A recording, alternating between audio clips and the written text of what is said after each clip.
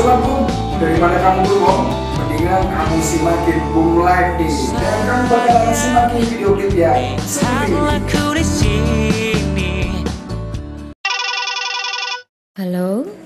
Dan kamu juga bisa gabungan di line interaktif kita di line telepon.